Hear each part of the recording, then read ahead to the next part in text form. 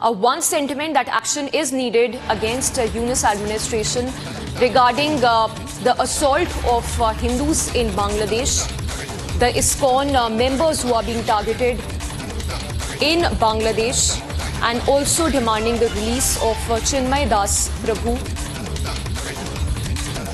So while in US there was a protest that was staged outside the White House by the Hindus, uh, in UK, uh, the parliamentarians also raised this matter days after Bob, Bob Blackman also uh, spoke about Hindus' persecution in Bangladesh.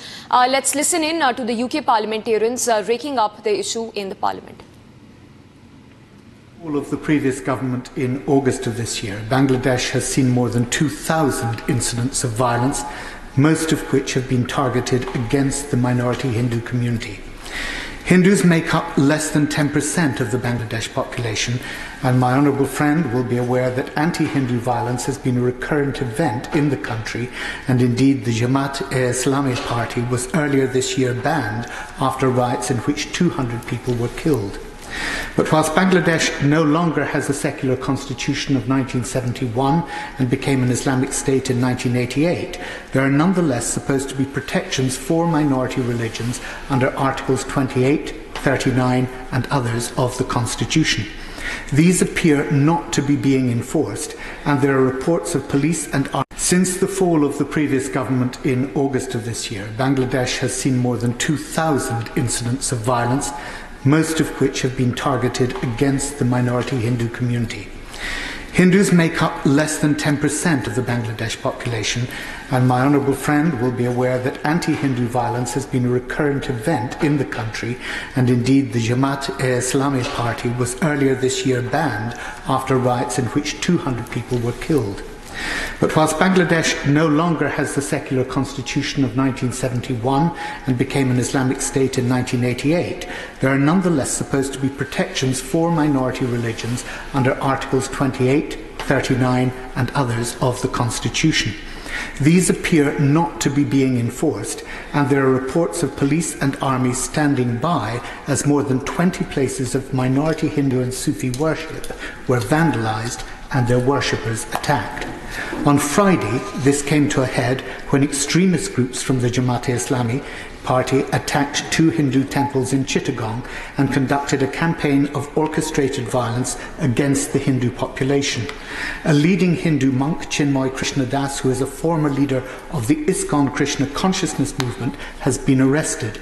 ISKCON is a worldwide branch of modern Hinduism with its UK headquarters at Bhaktivedanta Manor in Bushey, many of whose worshippers live in my own constituency of Brent West and the surrounding areas of northwest London. People are concerned that whilst he was engaged in exclusively peaceful protest, he has been denied due process, charged with sedition, and refused bail. Yet none of the individuals who attacked the temples has been apprehended or charged. On Saturday, the senior Bangladeshi journalist Munni Saha was taken into police custody following an attack on her car by a large mob in Dhaka and only released under the provisions of the criminal code. The situation is clearly on a knife edge, and with such large diaspora populations in the UK and with large Hindu communities with strong links to the community in Bangladesh, I'd ask my honourable friend what more she can do to have discussions with the Bangladeshi government to ensure that, and with other partners in the region, to ensure that tensions are lowered, the rule of law put into effect, and calm and order restored. It's an important subject, and he's also raised the arrest of the ISKCON leader, and it's a place of worship I too am very familiar with um, near his constituency. But, Mr. Speaker, these are deep and long standing ties um, between our two countries, and the Minister herself is right to point out that even though she's visited Bangladesh recently, um, as my honourable friend, the member opposite, has said, the degree of escalation in the violence is deeply, deeply concerning. And what we are witnessing now is just uncontrolled violence in many quarters. And we are now watching with horror and shock as further violence is spread in Bangladesh. And all our thoughts in this House are most definitely with the diaspora community here and those who are affected in Bangladesh. These are deeply disturbing reports. The Minister herself mentioned the deadly attacks and the violence that took place during what is an auspicious period, the Durga Puja festival in 2021. So given the current instability in Bangladesh and since the departure of the former Prime Minister in August, this is a moment of deep concern. Many governments are condemning the violence and calling for peace and law and order to be restored. So I welcome the comments from the Minister, but I must emphasise that all efforts must be taken now. We have a religious leader who has now been arrested. We need to know effectively what is being done to secure his release, due process in particular.